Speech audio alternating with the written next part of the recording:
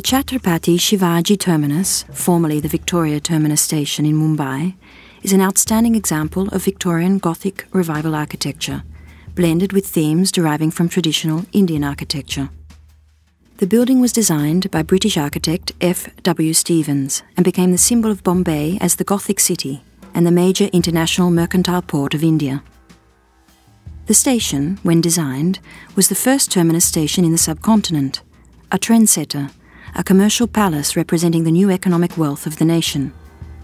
It was the symbol or signature of a city that claimed to be the jewel in the crown. The scale and grandeur of the building produce a sense of wonder and awe. It is the most prominent and symbolic landmark of Mumbai. Bombay City has been described as the finest Victorian city east of the Suez. The Gothic Revival style was deliberately chosen as most suitable to express the aspirations of the wealthiest and most dynamic of Indian cities.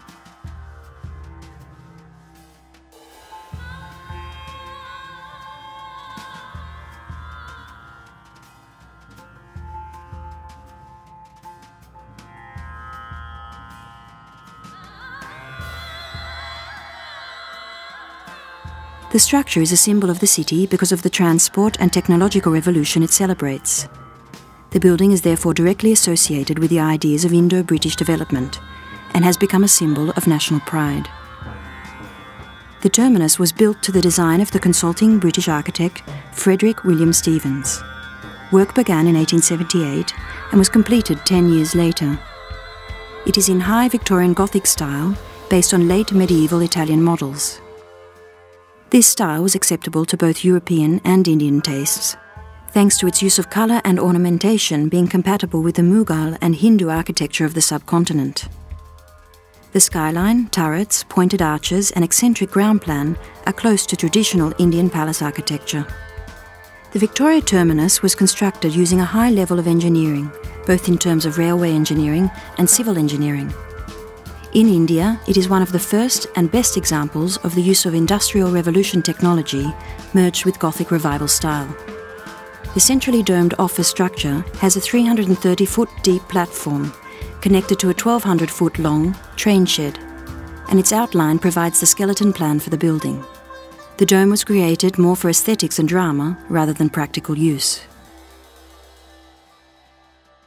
The construction materials were selected with care the main structure is built from a judicious blend of Indian sandstone and limestone, whilst high quality Italian marble was used for key decorative elements. The main interiors are lavishly decorated. The ground floor of the north wing, now known as the Star Chamber, where the booking office is located, is embellished with Italian marble and polished Indian blue stone. The stone arches are covered with carved foliage and grotesques. It must surely stand among the half dozen greatest railway stations in the world. The railway epitomises the Industrial Revolution. The technological development is also highlighted in the architecture of the concourse, the large uninterrupted span of which consists of an extensive steel structure. The site on which this property is situated, Bori Bunder, is of great historical importance and is directly associated with the origins of the city of Bombay, now Mumbai. The city derives its name from the goddess Mumbadevi, and the earliest temple dedicated to her is believed to have stood on the site of the Victoria terminus. The original shrine was demolished in 1317 by Mubarak Shah and later reconstructed. The second shrine was demolished by the Portuguese in 1760. The Bombay Island had formed a coastal Hindu outpost in western India, but was not used for commerce. It was first passed to the Portuguese and then, in 1661, to the British. In 1667, the island was transferred to the East India Company, which was principally responsible for its commercial development. Merchants started settling here from elsewhere, and shipbuilding and cotton trade industries prospered. The town flourished noticeably after the inland railway connections were constructed and the Suez Canal was opened in 1869. With the growth in trade, the Governor of Bombay planned a series of works aimed at developing a more representative city.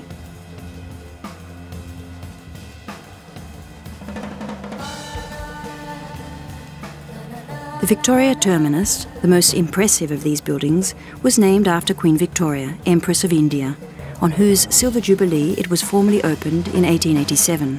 Originally intended only to house the main station and the administrative offices of the Great Indian Peninsula Railway, a number of ancillary buildings were subsequently added, all designed to stand in harmony with the main structure. The side wings enclose the courtyard, which opens onto the street. The wings are anchored by monumental turrets at each of their four corners, balancing and framing the central dome. The facade gives the appearance of well-proportioned rows of windows and arches. The ornamentation in the form of statues, bas-reliefs and friezes is exuberant yet well controlled.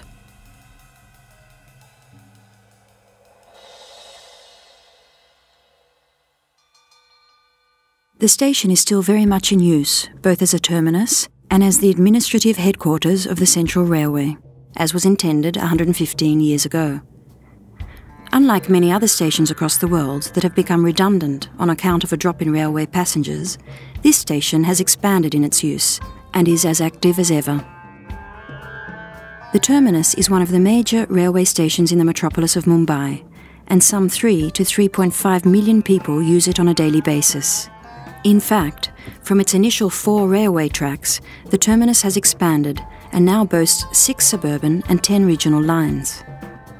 This expansion has naturally led to the restructuring of several surrounding areas, as well as the addition of new buildings. Nevertheless, according to recent plans, the railways are working to decongest this terminus and divert some of the traffic to other stations.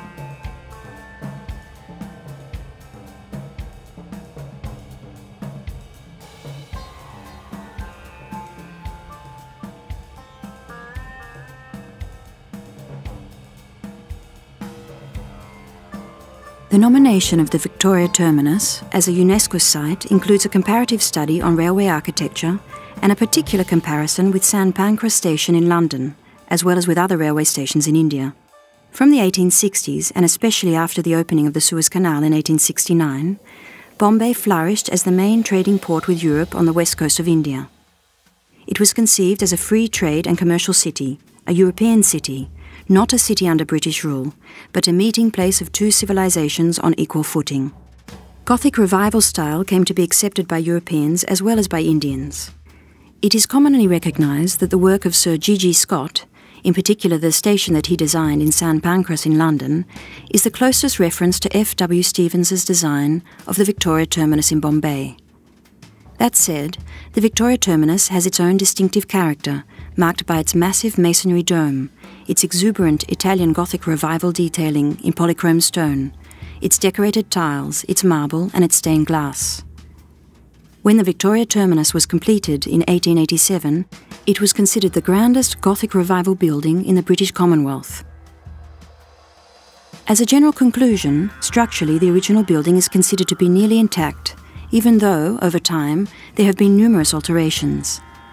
These have been mainly additions and adjustments to accommodate the immediate needs of the personnel working in the building, resulting in the construction of partition walls, new ceilings, and the instalment of lifts. Most of these alterations are reversible, and the present restoration project is expected to improve the legibility of the original architecture by removing undesirable additions and restoring the original aspect.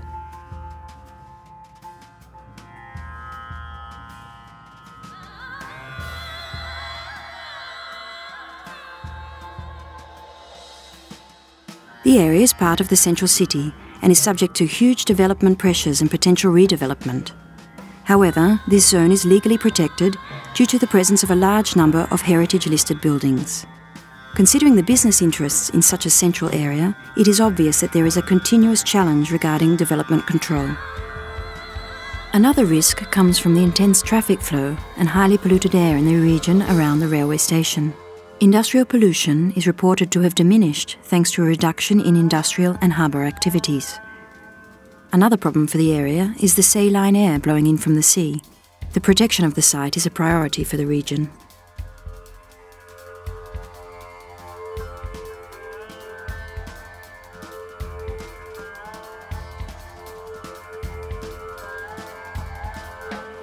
The administrative control and management of this property sit with the Divisional Railway Manager of the Mumbai Division of the Central Railway. The day-to-day maintenance and protection of the building is also the responsibility of the Divisional Railway Manager. Their aim is to reduce rail station traffic and protect the building. On a regional level, the railways are in the process of formulating a restructuring plan regarding railway zoning across the country. As a result, this would lead to decongestion and reduced pressure on the terminus station, which is now overcrowded by traffic. The Mumbai Metropolitan Regional Development Authority is working on the Mumbai Urban Transportation Plan, aiming to upgrade the transport network. On a local level, there will be changes to the management system. These will have consequences on the eastern waterfront of the city. The terminus, which is situated in this area, is in a strategic position and will therefore also be affected by these developments.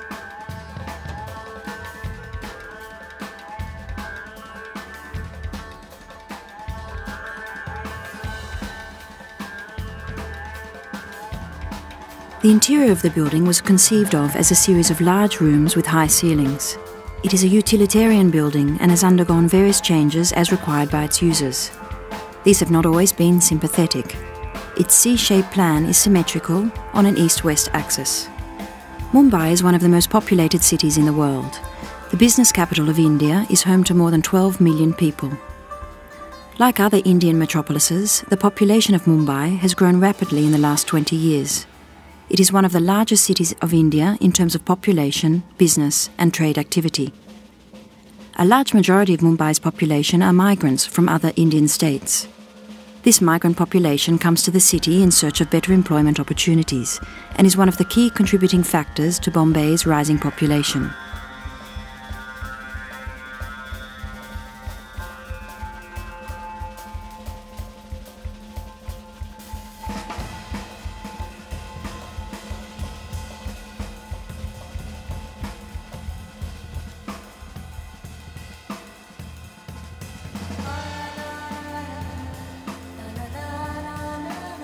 The credit for designing Victoria Terminus, described by some as the most balmy of Mumbai's buildings, goes to F.W. Stevens, who was inspired by the St Pancras station in London.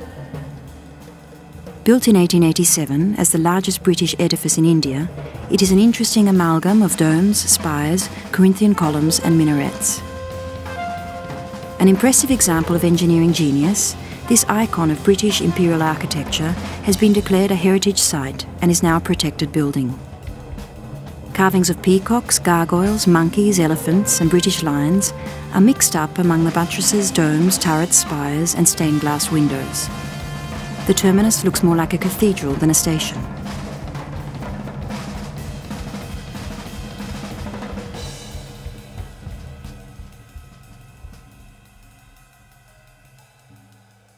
Not only was the Mumbai transportation system modelled after the London system, it was basically developed in conjunction with it. As London developed a system, Mumbai would receive it approximately five years later. Tram service in Mumbai began in 1870. It remained until the 1950s when people felt that trams were becoming obsolete.